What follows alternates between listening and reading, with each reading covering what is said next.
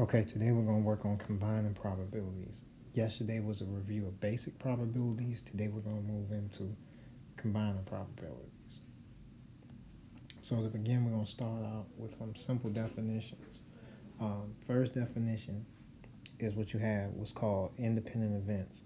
And what it means is you have two events where the fact that the first event has occurred does not have an impact the second event. So, so if you wanted to find the probability that both of these events occurred at the same time, or both of these events occurred, you would just take the probability of A and multiply it by the probability of B. Again, you assume that the first event has no effect on the second event. So those are called, that's what you call independent events. All right, so some quick exam examples.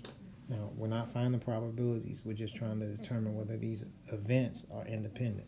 So let's say we, we toss a coin twice, and we we call it a fair coin, meaning it's not loaded either on heads, on the head side, or the tail side. That's what you call a fair coin. So the two events, you have the first toss is a head, the second toss is a head. Again, the coin is fair.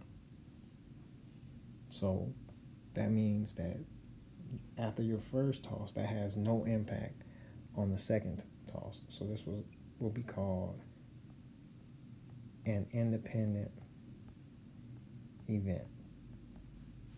All right. So example B, you've got two events. First event is it will rain tomorrow in Houston. The second event is it will rain tomorrow in Galveston, a city near Houston. Um, now, just because it's raining in Houston doesn't mean it's raining in Galveston. So, again, this is what you call independent. So the events are independent. All right, and C, you draw a card from a standard deck. Then you draw a second card without replacing the first card. Okay, so on the standard deck, you know, let's say you're looking for the uh, four diamonds, right?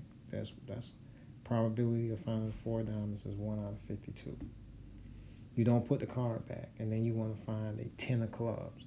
All right, so let's say this is probabilities of drawing a four of diamonds. All right. Then your second event would be the probability 10 of clubs.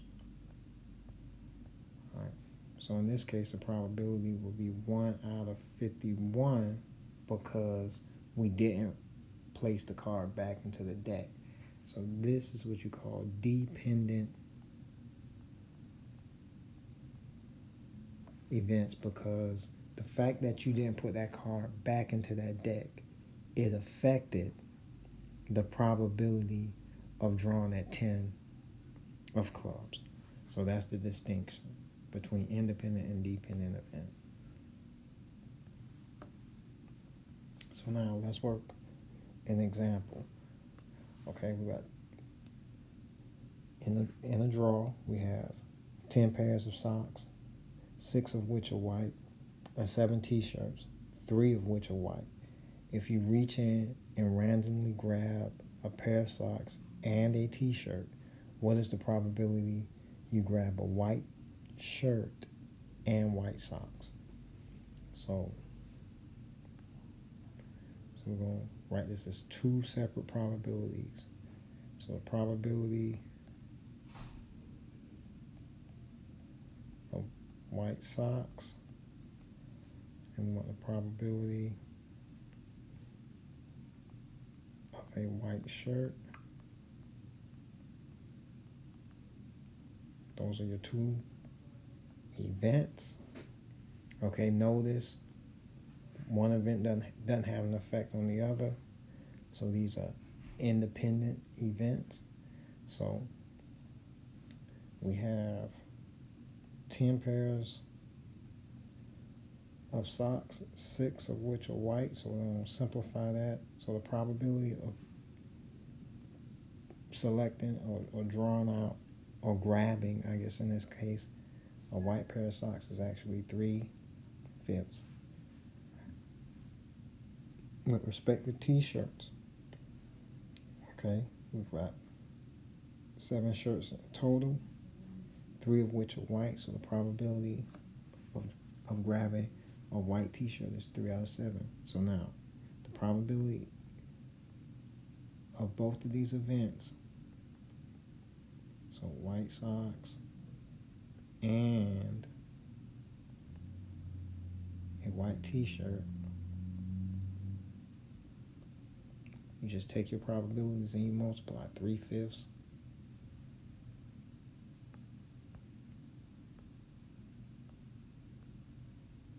times 3 sevenths, and that's 9 35ths. Okay, now, again, as I said in a previous lesson, if that if you're being asked to represent the probability as a fraction, you're done. Otherwise, you can convert it to a decimal, to whatever specified number of decimal places, or a percent. Okay. All right, so second example. All right, we roll a fair six-sided die. Now, first, let me explain. A die, that's a single. We're used to saying dice, which is plural. Uh, so dice is plural. All right, so that's two or more. Okay. Die is single or singular, I guess you would say. All right, so we roll a six-sided die twice. What is the probability that you roll two ones? So probability of rolling a one. And we've got probability of rolling a one again.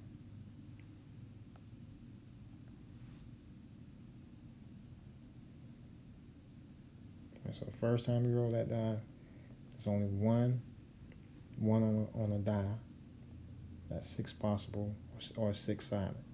Second time you roll, probably is one out of six. So probability that both rolls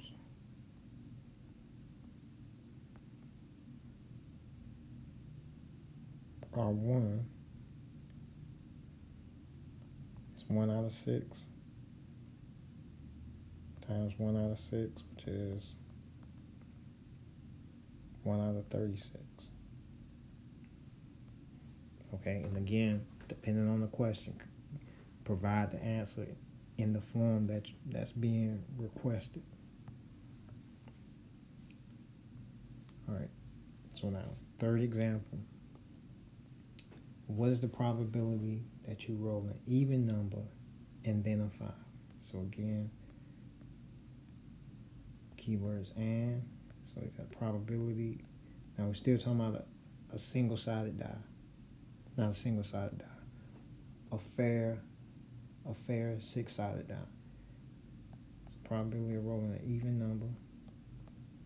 All right, there's three even numbers on it on a die. That's six possible outcomes. Go ahead and simplify. So probability of rolling an even number is one half. Probability of rolling a 5. That's 1 out of 6. So now these are both independent events. So probability of rolling an even number and a 5. You multiply half and a sixth. That's 1 12th.